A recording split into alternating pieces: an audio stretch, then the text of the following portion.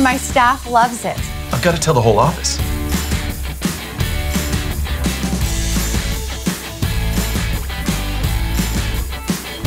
I wanted options. I wanted to choose how I pay. Ooh, perpetual licenses? Yes, please.